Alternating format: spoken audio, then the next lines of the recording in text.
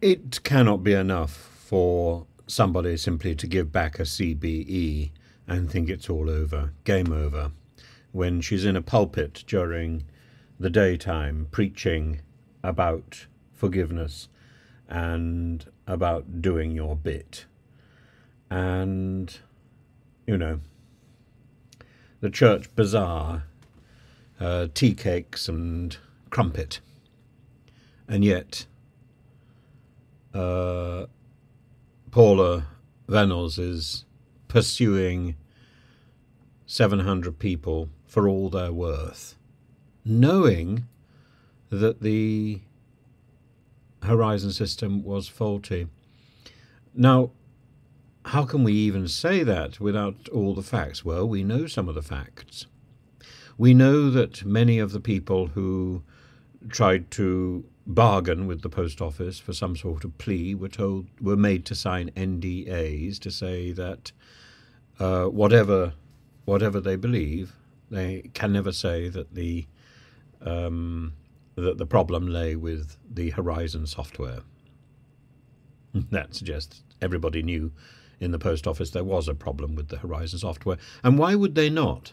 Particularly when uh, Jason Coyne, the IT expert, comes forward to say that in 2003 he produced a report saying that the Horizon software was producing unreliable data. And uh, as a result of this, apparently, uh, he was pressured.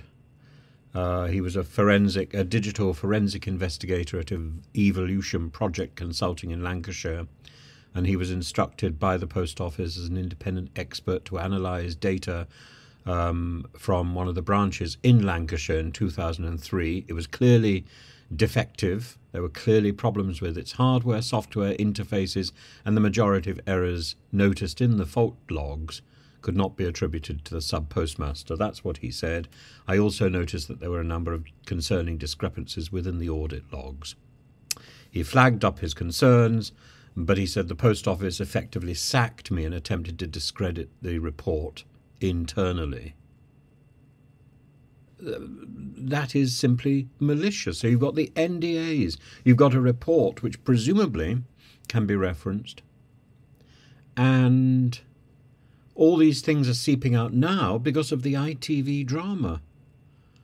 Why, why weren't these things being trumpeted by the inquiry? Oh, because the post office got some control over the inquiry. It's simply mind blowing. Anyway, he was uh, he was one of the people approached by Alan Bates, and he became an expert witness in the case and was cross examined in court for four days. I had the truth, I had the data, and had all the technology evidence to back up that data. But if the post office had acted when he submitted his report, a lot of the people who were subsequently prosecuted and attacked and vilified in their own communities would have been saved that misery. A lot of the last 20 years need not have happened. 2003, it's a long time ago. Um, and it's arrogant to assume, as the post office did, that once they're paid for a system, it's going to be watertight and foolproof. As we move into the 21st century and recognize that we are going to be dealing with AI, we have to also recognize that it will be faulty that there will be faults, there will be failings. And the computer is not always right. My, my, my, my internet just went off, and, uh, and, my, my wireless link just went off, and there, there was nothing I can do. And that's routine, isn't it? It doesn't need to be.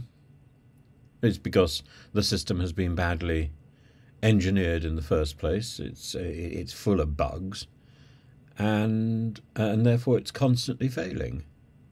And it doesn't really matter which company you use. I think anybody who recognizes that something as straightforward as the internet is constantly failing must recognize, surely, that a system like Horizon needs to be debugged, needs to be checked, needs to be routinely serviced.